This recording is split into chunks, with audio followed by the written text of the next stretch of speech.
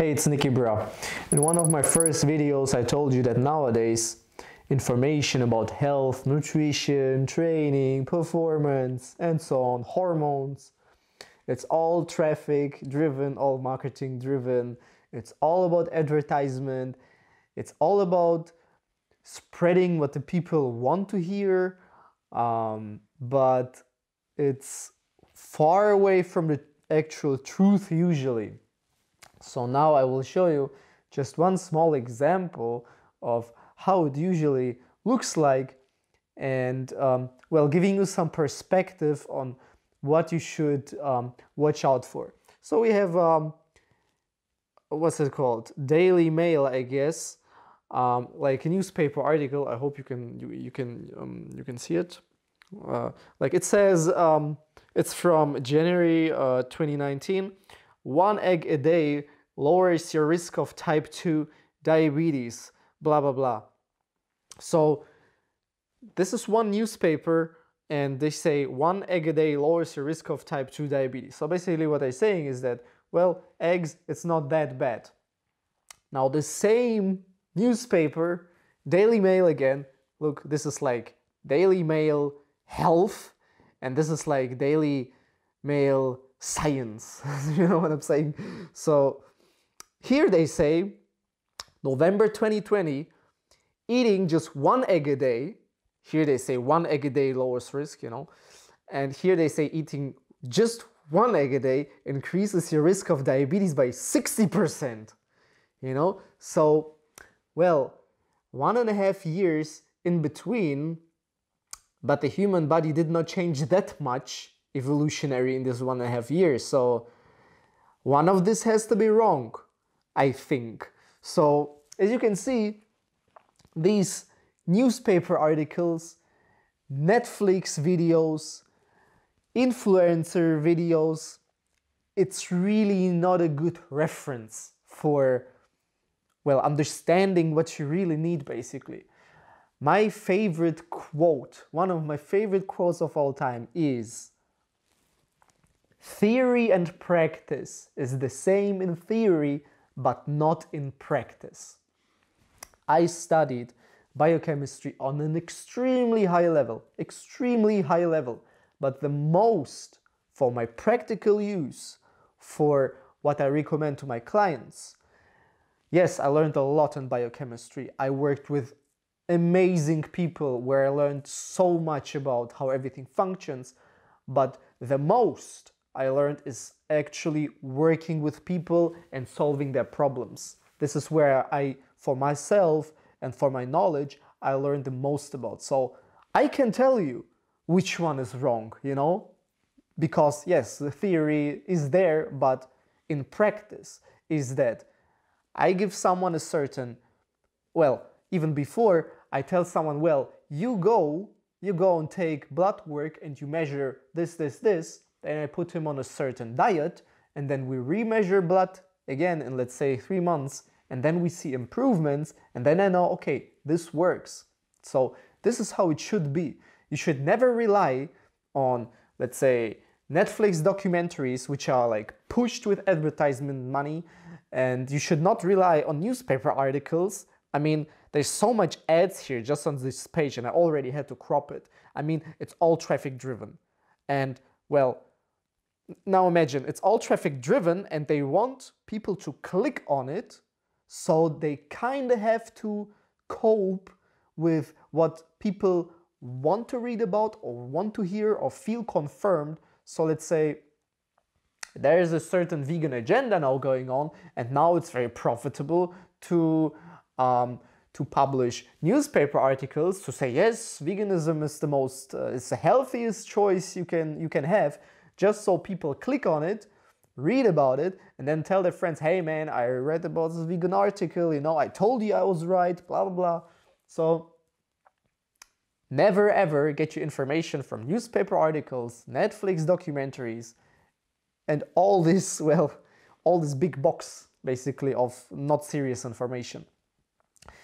So, like, I mean, it's ridiculous to be honest. I mean, it's absolutely ridiculous, and this is just one example I'm giving you here. I could give you like 1,000, but um, um, well, aspect number two I want to talk about is um, studies. Well, because here in this uh, newspaper articles they say Contr controversial study um, says, and here they say um, Chinese study or Finnish study or whatever they're saying.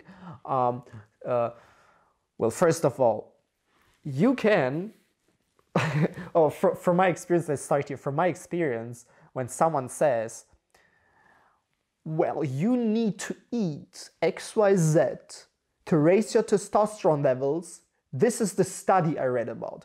99.9% of the people who say this, they did not even read the study fully with all papers because the study is not just the headline and not just the description, but the study is usually, you know, there's some paper to it. And of this, let's say 0.1% who really read through all, the, all of this paper, roughly maybe, let's say 5%, they understand what the scientists talk about. And for every single, well, fact, let's say, you can find studies. So basically, um, you can say, well, go ahead and find them, basically. You can say, um, Uh, fish raises testosterone.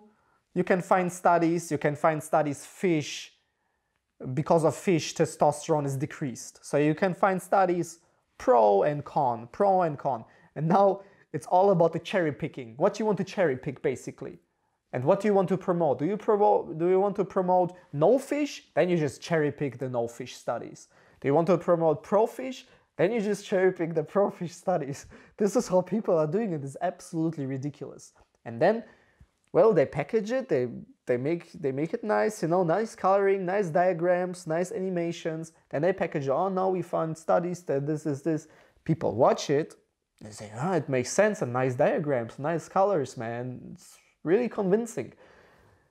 Now the problem is there that people really start to believe some things that are really not the truth and they adjust their life to it and then it goes downhill. Because I mean, we, we don't want to discuss which one is right, which one is wrong. We don't care now. But I mean, one of them has to be wrong, right? And it's the same magazine or newspaper. It's the same. So one of them has to be wrong. And I mean, it just shows that there is no no double checking or whatever. They don't care what's posted too much, I see, because even if they are, let's say, pro eggs, they have to double check is there something maybe there is an article already that's against eggs so maybe we will not publish so as you can see they don't care they just care about ads ads ads ads ads i really had to crop out lots of ads to to show you this screenshot but it's ridiculous. So, like I said, studies also a great reference. Not if, I mean, my opinion is a study is a great reference when you conduct it. Because us in the, well, in, in, in biochemistry back in the day, we used to say whoever pays the orchestra decides what music is played.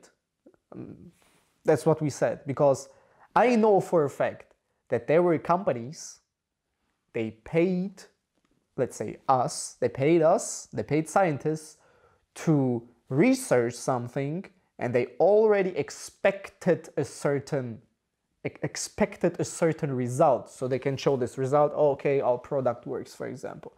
This is like factual procedure that it is paid you know because i mean it's a great endeavor. It's a great endeavor. You have to pay scientists, you have to pay equipment, it's time and energy, you have to write the papers, you have to uh, conduct the full study. I mean, it just takes time and energy, it's a lot of money.